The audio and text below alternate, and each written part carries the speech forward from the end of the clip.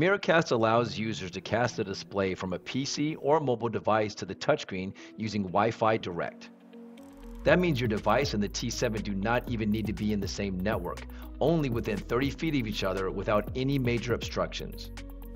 Since it comes pre-installed on most PCs and phones, the user does not need to download any apps like OneScreen Share.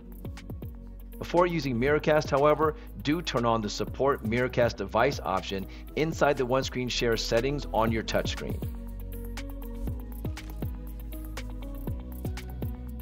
Then, note the device ID on the OneScreen Shares window.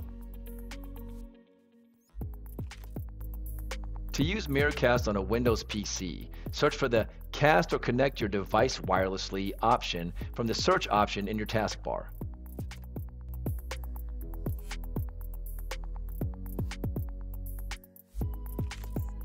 You should be able to view all the OneScreen touchscreens you can cast your display to. Click on the device and on the T7. Press Allow.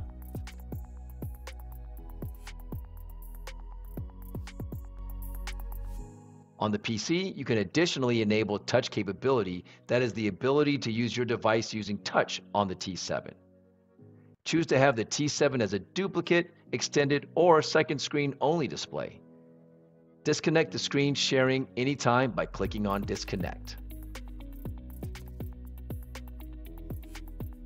To use Miracast on your Android phone, go to your phone settings and search for the Screencast or Connect to a Wireless Display option.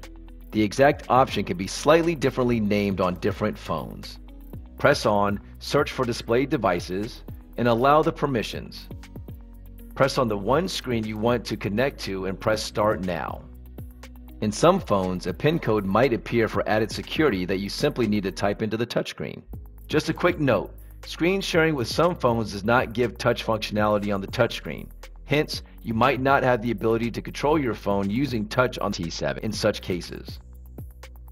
Press on Stop Screencast option inside the settings or from the drop-down menu in your phone by sliding your finger downwards from the top.